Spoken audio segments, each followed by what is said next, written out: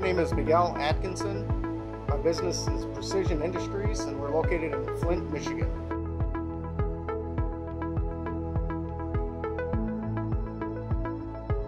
Here at Precision Industries, we focus on mold building and design. We do custom molding and custom precision machining. I've always wanted to own my own shop, and the opportunity came up that previous owners of Precision Industries wanted to retire and sell. So it gave me a chance to look into purchasing an existing business. I've always been a tool and die maker, and everything just kind of fell into place. The biggest obstacle of purchasing a business is not knowing how to go about it whatsoever.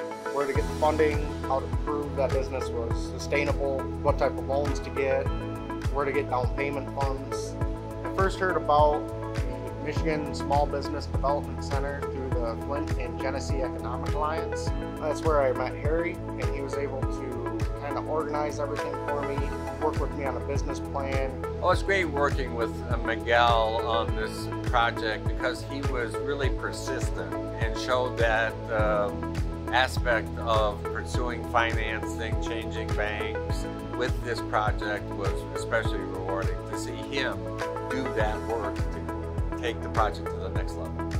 The tools that I use with Miguel uh, include the business plan development, cash flow projections, in preparation for his uh, submission to a bank to get financing to buy Precision uh, Industries. The best advice I could give about purchasing a business is to do a little extra legwork and find the areas that offer free consulting, free advice, like the SBDC and the economic alliances.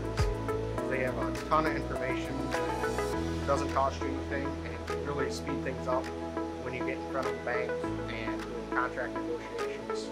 The best thing about being a Michigan small business consultant is the people that I meet. A lot of the things that I do are kind of a repeat from client to client, but all the clients are different people, and it's great understanding their personalities and also the unique businesses that they represent. I want to say thank you to the Michigan SBDC for all the help that they were in purchasing my business, all the advice that Harry was able to give me, move things along as quickly as they did, and supply me with tools to help grow my business.